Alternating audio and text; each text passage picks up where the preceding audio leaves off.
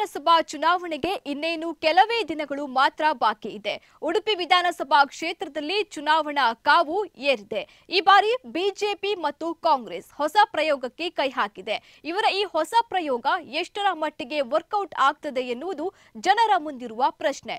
ಇನ್ನು ಅದೇ ರೀತಿ ಉಡುಪಿಯಲ್ಲಿ ಈ ಬಾರಿ ಇಬ್ಬರು ಪ್ರಬಲ ಅಭ್ಯರ್ಥಿಗಳು ಮುಖಾಮುಖಿಯಾಗಿರುವುದೇ ರೋಚಕ.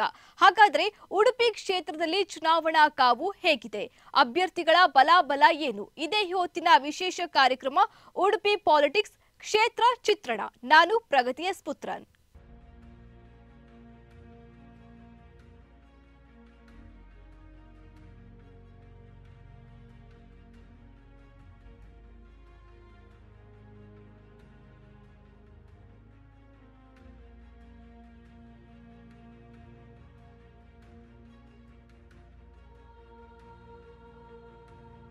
ಉಡುಪಿ ಜಿಲ್ಲೆಯ ಐದು ವಿಧಾನಸಭಾ ಕ್ಷೇತ್ರಗಳಲ್ಲಿ ಒಂದಾದ ಉಡುಪಿ ವಿಧಾನಸಭಾ ಕ್ಷೇತ್ರ ವಿಶಿಷ್ಟವಾದ ಕ್ಷೇತ್ರ.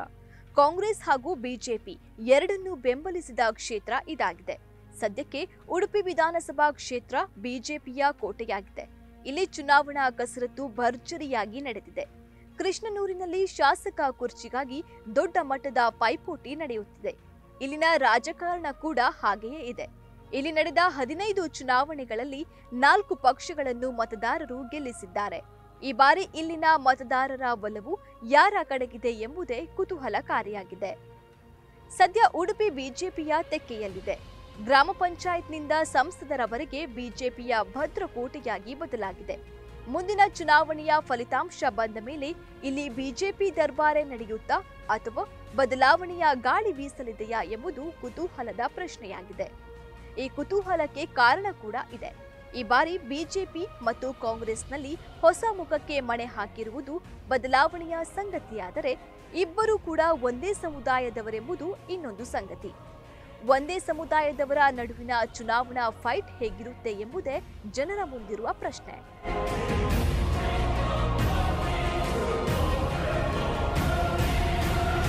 ಉಡುಪಿ ವಿಧಾನಸಭಾ ಕ್ಷೇತ್ರದ ಈ ಬಾರಿಯ ಚುನಾವಣೆ ಹಿಂದೆಂದೂ ಕಂಡರಿಯದ ಹೊಸತನದ ಚುನಾವಣೆಯಾಗಿದೆ. ಹಾಲಿ ಶಾಸಕ ಕೆ. ರಘುಪತಿ ಭಟ್ಗೆ ಬಿಟ್ಟು ಹೊಸ ಮುಖವನ್ನು ಬಿಜೆಪಿ ಕಣಕ್ಕೆ ಇಳಿಸಿದೆ. ಹಿಂದುತ್ವದ ಫೈರ್ ಬ್ರ್ಯಾಂಡ್ ಆದ ಯಶ್ಪಾಲ್ ಸುವರ್ಣ ಅವರಿಗೆ ಈ ಬಾರಿ ಟಿಕೆಟ್ ಲಭಿಸಿದೆ. ಇನ್ನು ಕಾಂಗ್ರೆಸ್ ಯುವ ಉದ್ಯಮಿ ಪ್ರಸಾದ್ ರಾಜ್ ಕಾಂಚನ್ ಅವರನ್ನು ಕಣಕ್ಕಿಳಿಸಿದೆ. ಇತಿಹಾಸದಲ್ಲಿ ಮೊಟ್ಟ ಮೊದಲ ಬಾರಿಗೆ ಇಬ್ಬರು ಮೊಗವೀರ ಅಭ್ಯರ್ಥಿಗಳು ಮುಖಾಮುಖಿಯಾಗುತ್ತಿದ್ದಾರೆ.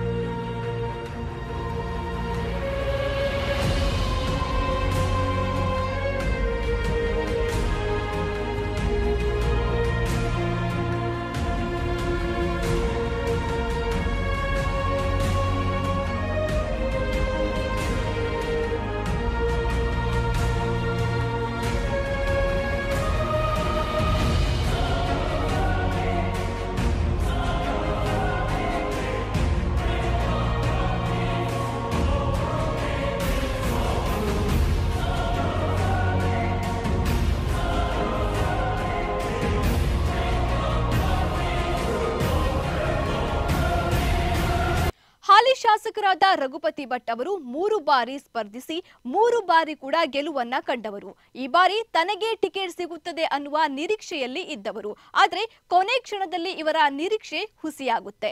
ಕಾಪು ಕ್ಷೇತ್ರದ ಮೇಲೆ ಕಣ್ಣಿಟ್ಟಿದ್ದ ಯಶ್ಪಾಲ್ ಸುವರ್ಣ ಅವರಿಗೆ ಈ ಬಾರಿ ಉಡುಪಿ ಕ್ಷೇತ್ರದಲ್ಲಿ ಟಿಕೆಟ್ ಸಿಗುತ್ತದೆ. ಹಿಂದುತ್ವದ ಹೋರಾಟದಿಂದ ಉದ್ಭವಿಸಿದ ನಾಯಕ ಯಶ್ಪಾಲ್ ಸುವರ್ಣ ಅವರು.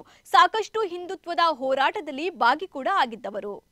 ಬಿಜೆಪಿ ಹಿಂದುಳಿದ ವರ್ಗಗಳ ರಾಷ್ಟ್ರೀಯ ಪ್ರಧಾನ ಕಾರ್ಯದರ್ಶಿಯಾಗಿರುವ ಯಶ್ಪಾಲ್ ಅವರಿಗೆ ಇತ್ತೀಚೆಗಷ್ಟೇ ಸಹಕಾರ ರತ್ನ ಪ್ರಶಸ್ತಿ ಲಭಿಸಿದೆ. ಮಹಾಲಕ್ಷ್ಮಿ ಕೋಆಪರೇಟಿವ್ ಬ್ಯಾಂಕ್ನ ಅಧ್ಯಕ್ಷರು ಕೂಡ ಆಗಿದ್ದಾರೆ. ಜೊತೆಗೆ ಧಾರ್ಮಿಕ ಮತ್ತು ಶೈಕ್ಷಣಿಕ ಕ್ಷೇತ್ರಕ್ಕೆ ಆರ್ಥಿಕ ಸಹಾಯ ಮಾಡುವ ಮೂಲಕ ಜನರಿಗೆ ಹತ್ತಿರವಾಗಿದ್ದಾರೆ. ಈ ಬಾರಿಯ ಚುನಾವಣೆಯಲ್ಲಿ ಯಶ್ಪಾಲ್ಗೆ ಕೆಲವೊಂದಿಷ್ಟು ಧನಾತ್ಮಕ ಹಾಗೂ ಋಣಾತ್ಮಕ ಅಂಶಗಳು ಎದುರಾಗುತ್ತದೆ. ಧನಾತ್ಮಕ ಅಂಶಗಳು ಉಡುಪಿಯ ಇನ್ನೂರ ಇಪ್ಪತ್ತಾರು ಬೂತ್ಗಳಲ್ಲಿ ಬಿಜೆಪಿ ಶಕ್ತಿಯುತವಾಗಿದ್ದು, ಯಶ್ಪಾಲ್ ಜೊತೆ ಯುವ ಕಾರ್ಯಕರ್ತರ ದಂಡು ಇದೆ. ಹಿಂದುತ್ವವಾದಿ ಒಬ್ಬ ಶಾಸಕರಾಗಿ ಬರಬೇಕು ಎಂಬ ಕೆಲವು ಜನರ ನಿರೀಕ್ಷೆಗೆ ಯಶ್ಪಾಲ್ ಸೂಕ್ತ ವ್ಯಕ್ತಿಯಾಗಿದ್ದಾರೆ. ಹಿಂದುಳಿದ ವರ್ಗಗಳ ರಾಷ್ಟ್ರೀಯ ಪ್ರಧಾನ ಕಾರ್ಯದರ್ಶಿ ಹುದ್ದೆ ಇದೆ. ಸಹಕಾರಿ ಕ್ಷೇತ್ರದಲ್ಲಿ ಇರುವುದರಿಂದ ಎಲ್ಲಾ ವರ್ಗದ ಜನರ ವಿಶ್ವಾಸವನ್ನು ಗಳಿಸಿದ್ದಾರೆ. ಎರಡು ಬಾರಿ ನಗರಸಭೆಯ ಸದಸ್ಯನಾಗಿ ಆಯ್ಕೆಯಾದ ಅನುಭವವಿದ್ದು ಪಕ್ಷದ ಸಂಘ ಪರಿವಾರದ ಬೆಂಬಲವಿದೆ. ಶಾಸಕ ರಘುಪತಿ ಭಟ್ ರಿಟೇಕ್. ಶಾಸಕ ರಘುಪತಿ ಭಟ್ ಯಶ್ಪಾಲ್ಗೆ ಸಂಪೂರ್ಣ ಸಹಕಾರ ನೀಡಿದ್ದು ಅವರ ಬೆಂಬಲಿಗರು ಯಶ್ಪಾಲ್ ಪರವಾಗಿದ್ದಾರೆ. ಋಣಾತ್ಮಕ ಅಂಶಗಳು. ಹಿಜಾಬ್ ವಿರುದ್ಧದ ಹೋರಾಟದಲ್ಲಿ ಪ್ರಖರ ಹಿಂದುತ್ವವಾದಿಯಾಗಿ ಗುರುತಿಸಿಕೊಂಡ ಕಾರಣ ಮುಸ್ಲಿಂ ಸಮುದಾಯದವರ ಮತಗಳು ಬೀಳುವುದು ಅನುಮಾನ. ಕಾಪು ಕ್ಷೇತ್ರದಲ್ಲಿ ನಡೆಸಿದ ಕಾರ್ಯಚಟುವಟಿಕೆ ಬೇರೆ ಕ್ಷೇತ್ರದಲ್ಲಿ ಅಷ್ಟರ ಮಟ್ಟಿಗೆ ನಡೆಸಿಲ್ಲ ಎಂದು ಹೇಳಬಹುದು. ಬ್ರಹ್ಮಾವರ ತಾಲೂಕಿನಲ್ಲಿ ಯಶ್ಪಾಲ್ ಪರಿಚಿತ ಹೆಸರಲ್ಲ. ರಫ್ ಅಂಡ್ ಟಫ್ ಅಭ್ಯರ್ಥಿ. ಈ ಎಲ್ಲ ಅಂಶಗಳು ಯಶ್ಪಾಲ್ ಸುವರ್ಣ ಅವರಿಗೆ ಮುಂಬರುವ ಚುನಾವಣೆಯಲ್ಲಿ ಎದುರಾಗುವ ಸಂಭವ ಇದೆ. ರಘುಪತಿ ಭಟ್ ಅವರ ಸಂಪೂರ್ಣ ಸಹಕಾರ ದೊರೆತಿದ್ದು, ಉಡುಪಿ ಕ್ಷೇತ್ರದಾದ್ಯಂತ ಸಂಚಾರ ನಡೆಸಿ ಜನರ ಭೇಟಿ ಮಾಡುತ್ತಿದ್ದಾರೆ.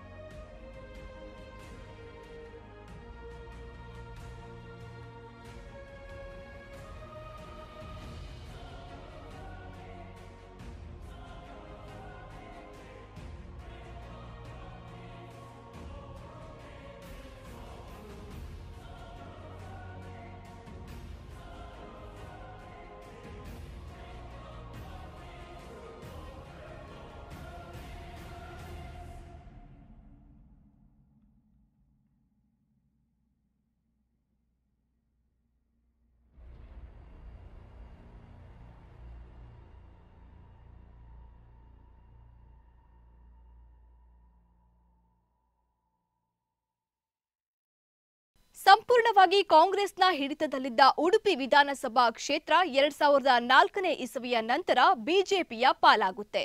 ಸತತವಾಗಿ ಸೋಲುಂಡ ಕಾಂಗ್ರೆಸ್ಗೆ ಈ ಬಾರಿ ಉಡುಪಿಯಲ್ಲಿ ಅಭ್ಯರ್ಥಿಯ ಆಯ್ಕೆಯೇ ದೊಡ್ಡ ತಲೆನೋವಾಗಿತ್ತು. ಕೊನೆಗೂ ಅಳೆದು ತೂಗಿ ಈ ಬಾರಿ ಉದ್ಯಮಿ ಪ್ರಸಾದ್ ರಾಜ್ ಕಾಂಚನ್ ಅವರಿಗೆ ಟಿಕೆಟ್ ಕೊಟ್ಟಿದೆ.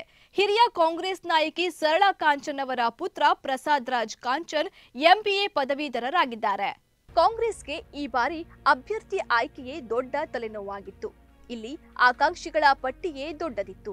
ಕೊನೆಗೂ ಅಳೆದು ತೂಗಿ ಕಾಂಗ್ರೆಸ್ ಹೈಕಮಾಂಡ್ ಪ್ರಸಾದ್ ರಾಜ್ ಕಾಂಚನ್ಗೆ ಟಿಕೆಟ್ ಕೊಟ್ಟಿದೆ. ಟಿಕೆಟ್ ಘೋಷಣೆಯಾದ ಬೆನ್ನಲ್ಲೇ ಕೆಲವು ಅಸಮಾಧಾನಗಳು ಕೂಡ ಹೊರಬಿದ್ದವು. ಕಾಂಗ್ರೆಸ್ ಈ ಬಾರಿ ಹೊಸ ಪ್ರಯೋಗಕ್ಕೆ ಹೆಜ್ಜೆ ಇಟ್ಟಿದೆ. ಬಿಜೆಪಿಯಲ್ಲಿ ರಘುಪತಿ ಭಟ್ಗೆ ಟಿಕೆಟ್ ಸಿಗದಿರುವುದು ಕೂಡ ಕಾಂಗ್ರೆಸ್ಗೆ ಲಾಭವಾಗಲೂಬಹುದು. ಇನ್ನು ಪ್ರಸಾದ್ ರಾಜ್ ಕಾಂಚನ್ ಕಾಂಗ್ರೆಸ್ ಕುಟುಂಬದಿಂದ ಬಂದಿರುವುದರಿಂದ ರಾಜಕೀಯ ವಿದ್ಯಮಾನಗಳು ಇವರಿಗೆ ಹೊಸತೇನಲ್ಲ. ಉದ್ಯಮದ ಜೊತೆ ಜೊತೆಗೆ ರಾಜಕೀಯದಲ್ಲೂ ಗುರುತಿಸಿಕೊಂಡಿದ್ದಾರೆ. ಇವರ ತಾಯಿ ಕಾಂಗ್ರೆಸ್ನ ಹಿರಿಯ ನಾಯಕಿ. ತಾಯಿಯಿಂದ ಒಂದಿಷ್ಟು ಸಲಹೆಯನ್ನು ಕೂಡ ಪಡೆದಿರುತ್ತಾರೆ. ಪ್ರಸಾದ್ ರಾಜ್ ಕಾಂಚನ್ ಅವರಿಗೂ ಕೂಡ ಕೆಲವು ಧನಾತ್ಮಕ ಮತ್ತು ಋಣಾತ್ಮಕ ಅಂಶಗಳು ಎದುರಾಗುತ್ತವೆ. ಧನಾತ್ಮಕ ಅಂಶಗಳು. ಕಾಂಗ್ರೆಸ್ನ ಹಿರಿಯ ನಾಯಕಿ ಸರಳಾ ಕಾಂಚನ್ ಅವರ ಮಗನಾಗಿರುವುದರಿಂದ ಒಂದಿಷ್ಟು ಜನ ಬೆಂಬಲ ಇದೆ. ಕಾಂಗ್ರೆಸ್ ಕುಟುಂಬದಿಂದ ಬಂದಿರುವುದರಿಂದ ರಾಜಕೀಯ ವಿದ್ಯಮಾನಗಳ ಅರಿವಿದೆ. ಎರಡು ದಶಕಗಳಿಂದ ಓರ್ವ ಉದ್ಯಮಿಯಾಗಿ ಬೆಳೆಯುವ ಜೊತೆಗೆ ಸಾಮಾಜಿಕ ಚಟುವಟಿಕೆಗಳಲ್ಲಿ ತೊಡಗಿದ್ದಾರೆ. ಶಿಕ್ಷಣ, ಆರೋಗ್ಯ, ಉಡುಪಿಯ ಬೆಳವಣಿಗೆ ಮಾತು. ಸಾವಿರದ ಒಂಬೈನೂರ ತೊಂಬತ್ತೊಂಬತ್ತನೇ ಇಸವಿಯಲ್ಲಿ ತಾಯಿ ಸರಳಾ ಕಾಂಚನ್ ಬ್ರಹ್ಮಾವರ ಕ್ಷೇತ್ರದ ಅಭ್ಯರ್ಥಿಯಾಗಿ ಸ್ಪರ್ಧಿಸಿ ಗೆದ್ದಿರುತ್ತಾರೆ. ಪ್ರಸಾದ್ ರಾಜ್ ಕಾಂಚನ್ಗೂ ಕೂಡ ಬ್ರಹ್ಮವರ ತಾಲೂಕಿನ ಒಡನಾಟವಿದೆ.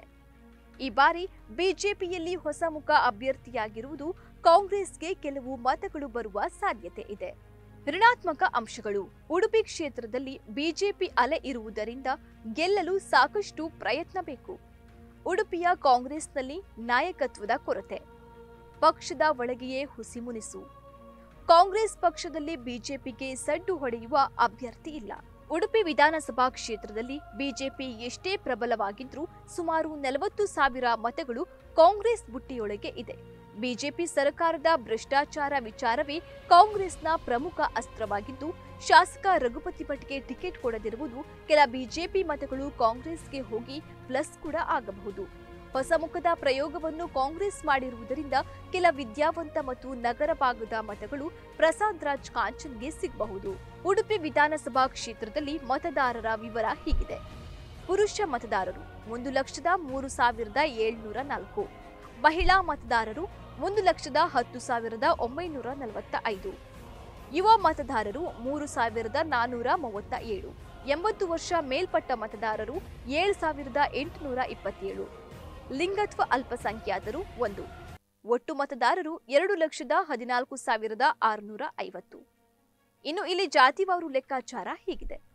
ಮೊಗವೀರರು ಐವತ್ತು ಸಾವಿರ, ಬಿಲ್ಲವ ನಲವತ್ತೈದು ಸಾವಿರ, ಬಂಟರು ಮೂವತ್ತೈದು ಸಾವಿರ, ಮುಸ್ಲಿಂ ಇಪ್ಪತ್ತು ಸಾವಿರ, ಕ್ರೈಸ್ತರು ಹನ್ನೆರಡು ಸಾವಿರ, ಪರಿಶಿಷ್ಟ ಜಾತಿ ಮತ್ತು ಪರಿಶಿಷ್ಟ ಪಂಗಡದವರು ಇಪ್ಪತ್ತೈದು ಸಾವಿರ, ಬ್ರಾಹ್ಮಣ ಮತ್ತು ಕೊಂಗಣಿ ಇಪ್ಪತ್ತು ಸಾವಿರ. ಹಾಗೂ ಇತರ ಮತದಾರರು ಮೂರು ಸಾವಿರ ಮಂದಿ ಇದ್ದಾರೆ.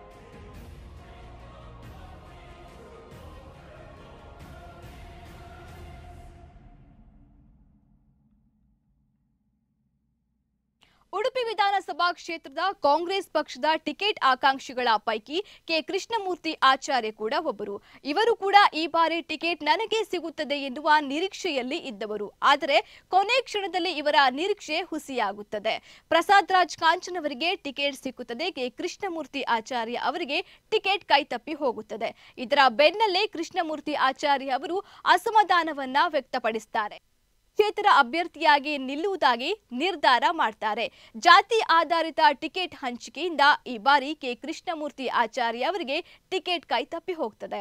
ಕಾಂಗ್ರೆಸ್ನಲ್ಲಿ ಹಲವು ವರ್ಷಗಳಿಂದ ಕೆಲಸ ಮಾಡಿದವರು ಕೃಷ್ಣಮೂರ್ತಿ ಆಚಾರ್ಯ. ಸಮಾಜ ಸೇವೆಯಲ್ಲಿ ಮುಂಚೂಣಿಯಲ್ಲಿದ್ದ ಕೃಷ್ಣಮೂರ್ತಿ ಆಚಾರ್ಯ ಟಿಕೆಟ್ಗಾಗಿ ಅರ್ಜಿ ಹಾಕಿದ್ರು. ಕೊನೆಗೂ ಟಿಕೆಟ್ ಇವರ ಕೈತಪ್ಪಿ ಹೋಗಿದೆ. ಇದರಿಂದ ಅಸಮಾಧಾನಗೊಂಡ ಕೃಷ್ಣಮೂರ್ತಿ ಆಚಾರ್ಯ ಪಕ್ಷೇತರ ಸ್ಪರ್ಧಿಯಾಗಿ ನಿಲ್ಲುತ್ತೇನೆ ಎಂದರು. ಕಾಂಗ್ರೆಸ್ ಮತ್ತು ಬಿಜೆಪಿಯ ಕೆಲ ಮತಗಳನ್ನು ಕೃಷ್ಣಮೂರ್ತಿ ಆಚಾರ್ಯ ಸೆಳೆಯಲಿದ್ದಾರೆ. ಉಡುಪಿ ವಿಧಾನಸಭಾ ಕ್ಷೇತ್ರದಲ್ಲಿ ಜೆಡಿಎಸ್ ಇವರಿಗೆ ಯಾವುದೇ ಖಾತೆ ತೆರೆದಿಲ್ಲ. ಈ ಬಾರಿ ಜೆಡಿಎಸ್ ದಕ್ಷತ್ ಆರ್ ಶೆಟ್ಟಿಗೆ ಟಿಕೆಟ್ ನೀಡಿದೆ. ಆಮ್ ಆದ್ಮಿ ಪಾರ್ಟಿಯಲ್ಲಿ ಪ್ರಭಾಕರ್ ಪೂಜಾರಿಗೆ ಟಿಕೆಟ್ ಸಿಕ್ಕಿದರೆ ಉತ್ತಮ ಪ್ರಜಾಕೀಯ ಅಭ್ಯರ್ಥಿಯಾಗಿ ನಿತಿನ್ ವಿ ಸ್ಪರ್ಧಿಸಲಿದ್ದಾರೆ. ಒಟ್ಟಿನಲ್ಲಿ ಈ ಬಾರಿಯ ವಿಧಾನಸಭಾ ಚುನಾವಣಾ ಕಣ ರಂಗೇರಿದೆ. ಮತದಾರರ ಮನಸ್ಸಿನಲ್ಲಿ ಯಾರಿದ್ದಾರೆ ಎಂಬುದು ಫಲಿತಾಂಶದ ಬಳಿಕವೇ ತಿಳಿಯಬೇಕಿದೆ. ಕರ್ನಾಟಕ ವಿಧಾನಸಭಾ ಚುನಾವಣೆಗೆ ಇನ್ನೇನು ಕೆಲವೇ ದಿನಗಳು ಬಾಕಿ ಇದೆ. ಉಡುಪಿ ವಿಧಾನಸಭಾ ಕ್ಷೇತ್ರದಲ್ಲಿ ಚುನಾವಣಾ ಕಾವು ಏರಿದೆ. ಬಿಜೆಪಿ ಮತ್ತು ಕಾಂಗ್ರೆಸ್ ಈ ಬಾರಿ ಹೊಸ ಪ್ರಯೋಗಕ್ಕೆ ಕೈ ಹಾಕಿದೆ. ಇವರ ಹೊಸ ಪ್ರಯೋಗ ಎಷ್ಟರ ಮಟ್ಟಿಗೆ ವರ್ಕೌಟ್ ಆಗ್ತಿದೆ ಎನ್ನುವುದು ಜನರ ಮುಂದಿರುವ ಪ್ರಶ್ನೆ. ಇನ್ನು ಅದೇ ರೀತಿ ಉಡುಪಿ ಕ್ಷೇತ್ರದಲ್ಲಿ ಇಬ್ಬರು ಪ್ರಬಲ ಅಭ್ಯರ್ಥಿಗಳು ಮುಖಾಮುಖಿಯಾಗಿರುವುದು ರೋಚಕ. ಹಾಗಾದ್ರೆ ಉಡುಪಿ ಕ್ಷೇತ್ರದಲ್ಲಿ ಚುನಾವಣಾ ಅಖಾಡ ಹೇಗಿದೆ? ಅಭ್ಯರ್ಥಿಗಳ ಬಲಾಬಲ ಏನು? ಇದೇ ಈ ಹೊತ್ತಿನ ವಿಶೇಷ ಕಾರ್ಯಕ್ರಮ ಉಡುಪಿ ಪಾಲಿಟಿಕ್ಸ್ ಕ್ಷೇತ್ರ ಚಿತ್ರಣ. ನಾನು ಪ್ರಗತಿಯ ಸ್ಪುತ್ರನ್.